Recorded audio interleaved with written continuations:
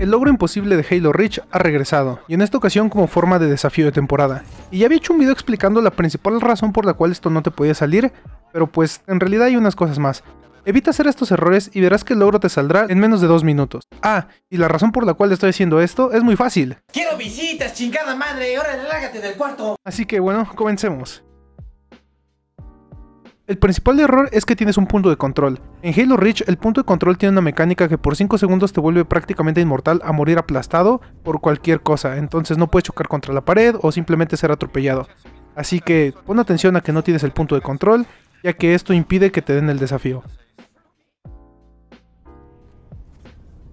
El segundo error es que estás directamente arriba de la Elite. Muchas veces lo que ocurre es que la geometría del casco hace que cuando choques con él en realidad no recibas daño, Así que, si de pura casualidad estás justo arriba de una de esas zonas, el juego detectará que no ibas a morir y entonces, adiós desafío.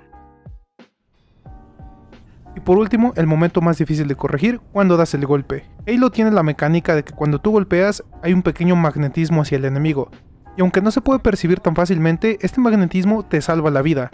Entonces, lo que quieres es que este magnetismo no ocurra para que así el juego detecte que en realidad estabas en una caída mortal.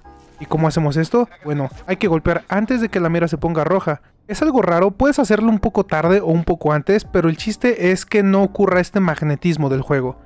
Aquí está en cámara lenta para que puedas ver de manera más detallada a qué me refiero con el magnetismo.